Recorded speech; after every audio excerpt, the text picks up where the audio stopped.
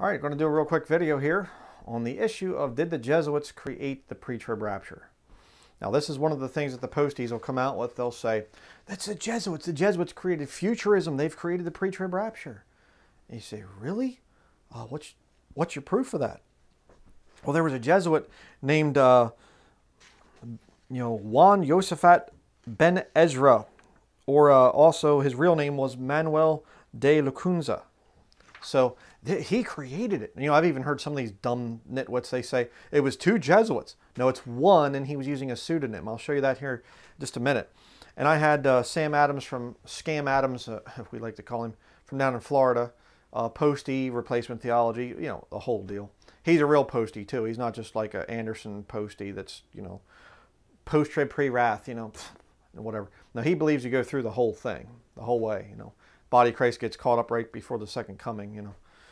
The divine U-turn, boom, back down. But uh, yeah, he sent me this thing years ago, and you know, you need to read this. It'll prove your pre-trib rapture doctrine was taught by Jesuit. You know, it was it was a whole thing was written by the Jesuits because this came out before, supposedly, I guess before uh, the whole John Nelson Darby thing. So Darby got it from the Jesuits and all this, and uh, you know, I had it and just okay. Well, I'll have to get to it because it's it's. I think the first volume one is almost 400 pages, and I thought, well, you know, I'll try to get around to doing that sometime.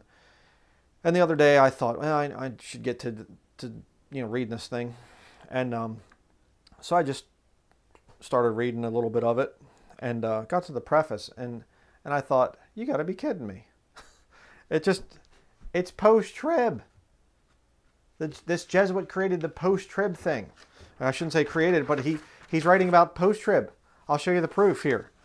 First of all, we have, I'll put up this thing on screen so you can see it. This is the actual title page, The Coming of Messiah in Glory and Majesty by Juan Josaphat ben Ezra, a converted Jew. So first of all, he lies there. Translated from the Spanish with a preliminary discourse by the Reverend Edward Irving, A.M. Uh, volume 1, published by you know, you can see all the stuff there. I'm not going to get into all that. Um, but look at the preface here to this edition. All right. I'll read this paragraph here, the third paragraph down. It says, Ben Ezra is the pseudonym, I guess they mean pseudonym, for a Roman Jesuit priest named Manuel de Lacunza. This information will occasion many Protestant, Protestants to read no further, but bear with us a while before shutting the book. I would avow this before you, the reader. If Luther was correct in demanding sola scriptorum, and would we dare deny that, then Lacunza may be, might, may be taken as a model of those that would follow Luther's clarion call. If ever a Christian author was to insist absolutely on the veracity and primacy of the Word of God, these pages show such a one. I doubt that. Indeed, one of the prime reasons for his work was to rebut the centuries old claims of the doctors of the Church who sought to put the Church in the position of the Jews both now and during the end times. Lacunza takes us back again and again to the inerrant Word of God and sweeps away 12 centuries of replacement theology to show again the teaching of the early church and the scriptures. For these reasons, and despite the support of his peers who read the work, the Catholic Church banned the book. Okay, it was banned because of he was going against replacement theology. It was not banned because it was quote unquote pre trib. Let me show you. Two paragraphs down from that. Look at this. His position has been described technically as futurist post-tribulational.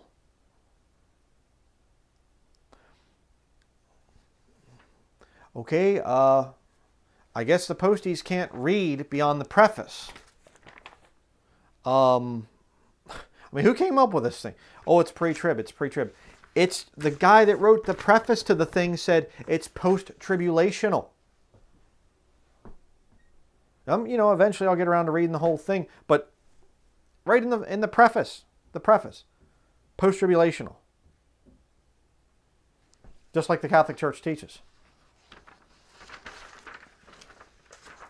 The final time of purification for the church. Yeah. So don't fall for this nonsense that the Jesuits created the pre-trib rapture. Total lie. Just read the preface. It's not the pre-trib rapture, post-trib. So that's going to be it. Thank you for watching.